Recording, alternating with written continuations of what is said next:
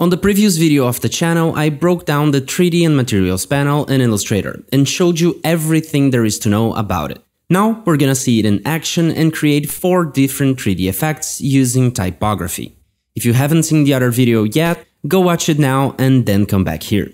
Alright, let's go. In this tutorial, we're gonna use a lot of different panels, so if you don't see some of them, they can all be opened through the window menu. The first one is a hole effect and it is super easy to make. I'm using the Montserrat font and I'm gonna type the word hole, but you can type whatever you want and use a different font if you feel like it. Just bear in mind that this effect works best with a very geometric and blocky font.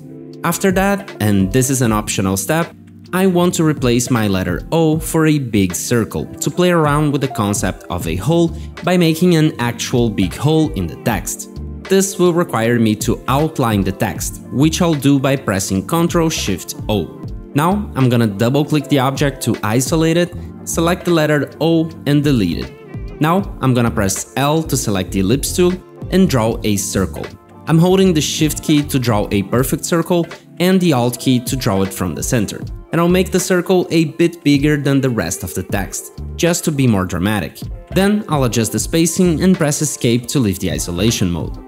If you skip the last step, this is where you catch up. To be able to make the hole effect, we need this object to be a cutout in another object. So we'll make a rectangle big enough to cover everything and place it behind the actual word. Let me change the color so we can see that it is in fact behind. You can move objects up or down in the stack by holding Ctrl and pressing the square bracket keys. Close moves up and open moves down.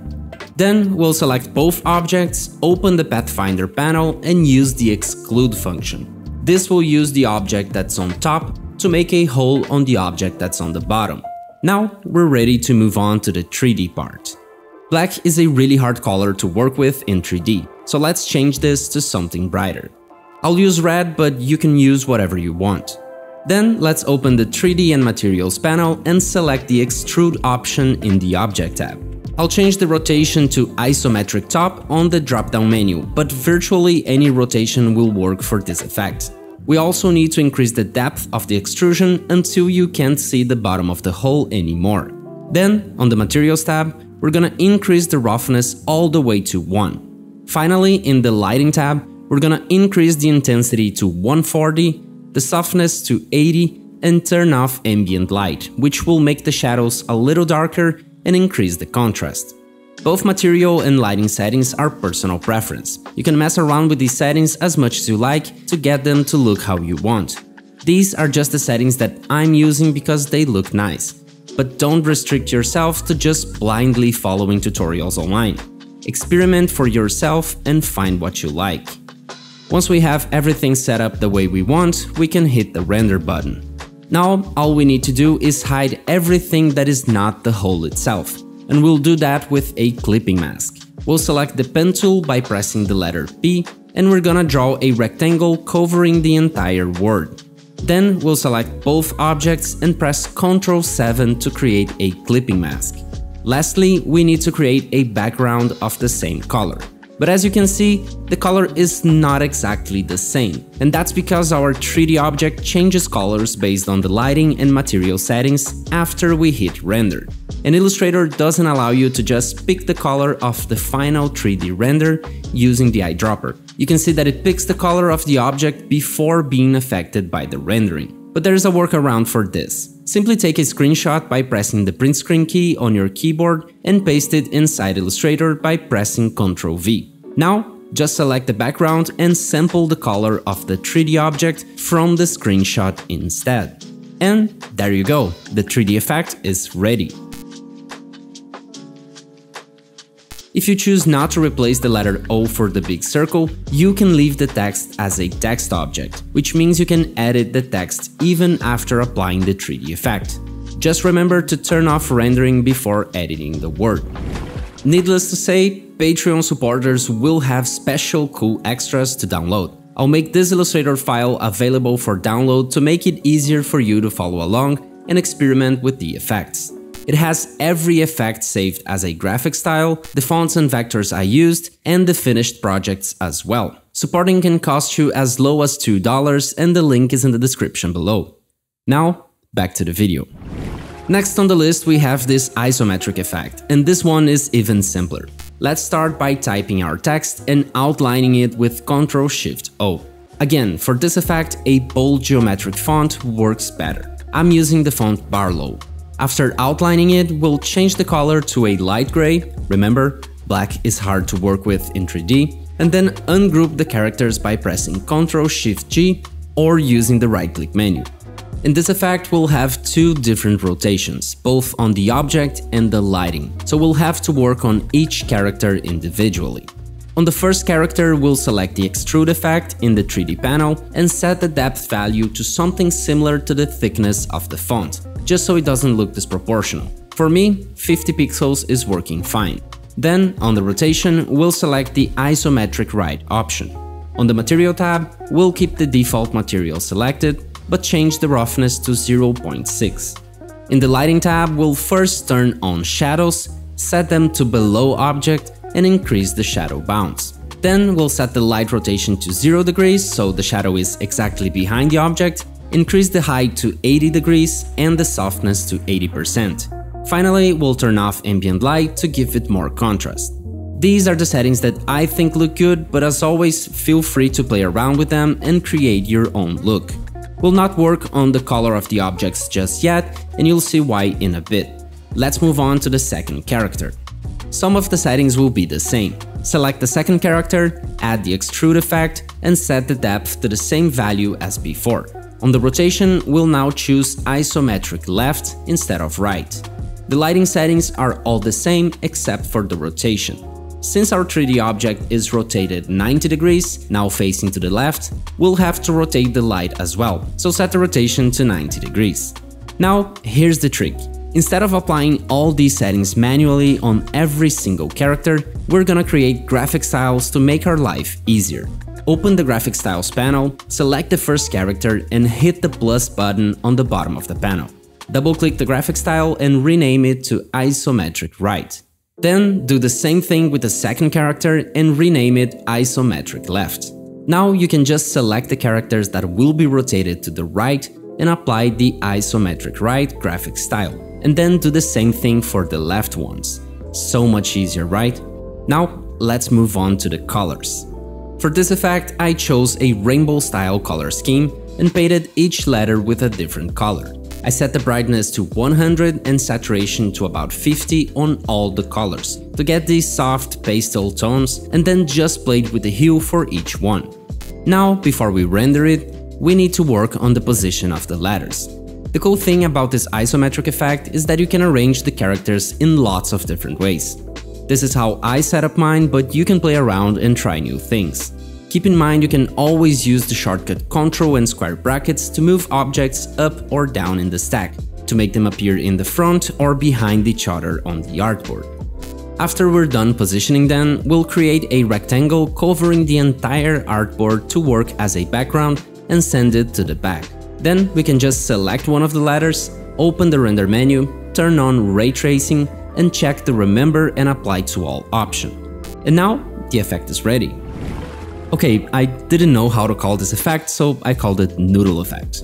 Anyways, the idea behind this one is that you use a very thin and round font. So when you apply the 3D, you have this perfectly smooth effect all around the 3D object. Looks a bit like a neon sign as well, but unfortunately Illustrator doesn't allow us to create objects that emit light. For this effect, I started out with the font Nick Lee, but thought it would look nice to add some flourishes, so that's what I did. You can just outline the text and draw the flourishes using the pen tool, adjusting the stroke weight to match the thickness of the font.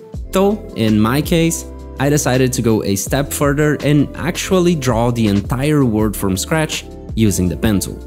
You can use any font for this effect, but I think this one fits perfectly because it has a consistent stroke weight, really emphasizing that smooth round effect.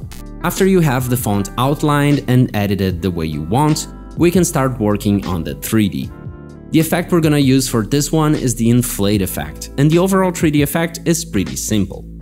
We're gonna set the depth to 0 so it's perfectly round and check inflate both sides. For the rotation, I chose off-axis front, but feel free to choose the one you like. On the Materials tab, we'll set the roughness to 0 to make good use of the round shape of our 3D object and get those nice reflections to show. As for the lighting, we have a lot of options to choose from. First, though, we definitely want to turn shadows on. Then we can experiment with just a hard shadow for that bright sunlight look, or perhaps make it softer for a more smooth aesthetic. For my final result, I'll be using 145 degrees in the rotation, 45 degrees on the height, 80% smoothness and 2% on distance from object.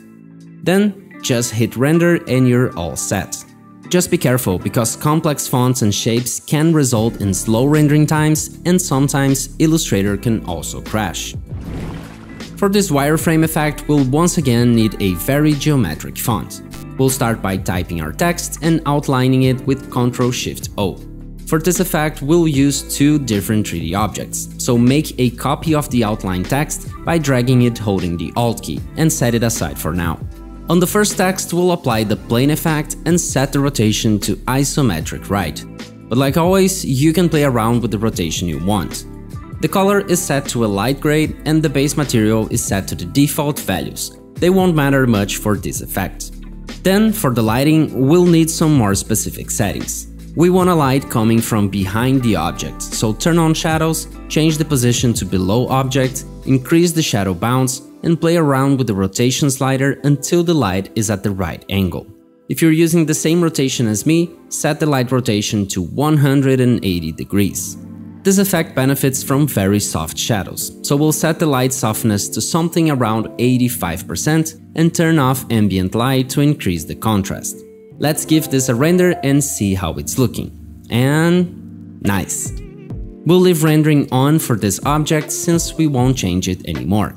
Now, before we work on the second 3D object, let's add a background to the artboard just so it's easier to see the wireframe when we place it there. I'll add a blue background because this effect gives me blueprint vibes, but use the one you want. For the second 3D object, we will use the extrude effect. Set the depth to whatever you want, but I'll keep it roughly the same size as the thickness of the font. We'll need to set the object rotation to the same as the previous object, so in my case, isometric right.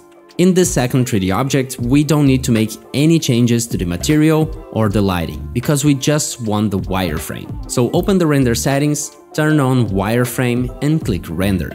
After that, go to the object menu and choose expand appearance.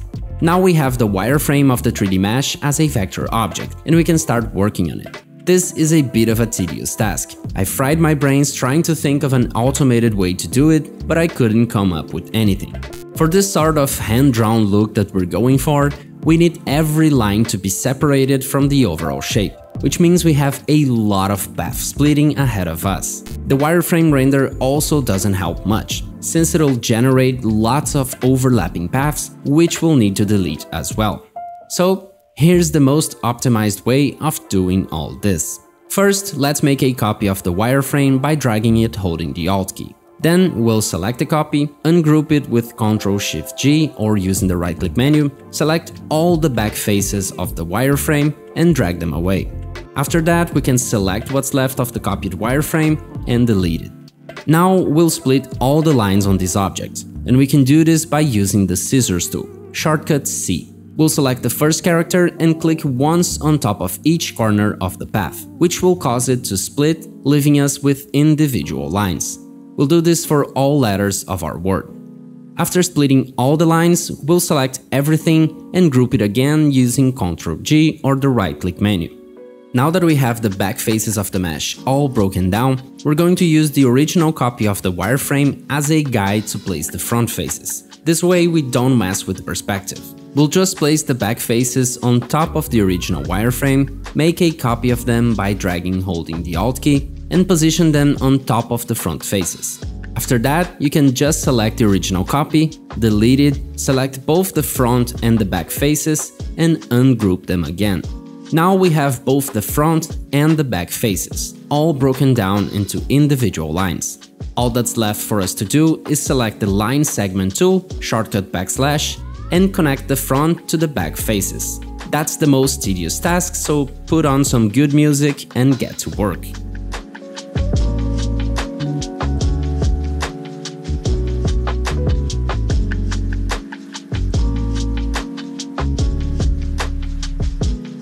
After you're all done, just group everything again so you don't leave lines behind when dragging the objects. Now we'll change the stroke color to white, open the stroke panel and adjust its weight. This will vary depending on the size of your 3D object, but for me, 1 pixel looks fine. Then we'll add a stroke profile on the bottom of the panel. Just open the drop-down menu and select the second profile. It'll give the sort of hand-drawn look to the stroke, making it thinner towards each end. After that, we'll open the gradient panel, make sure stroke is selected, and click once in the gradient slider to create a new gradient on the stroke. Then we'll double click the black color slider, change it to white, click once again in the middle of the slider to add a new color, which will automatically be white, and change its position to exactly 50%. To finish the effect, we just need to set the opacity to 0% on both ends of the gradient then grab the wireframe and place it on top of the 3D object. And now, we're done! If you enjoyed this video, check this other one here, I think you'll like it. Thank you to all my patrons who help me make high quality content like this one. Check the links in the description if you want to support the channel or join our Discord server. And don't forget to like and subscribe. If you have any doubts, leave a comment down below and I'll answer it. Thank you so much for watching and have a great day. Bye!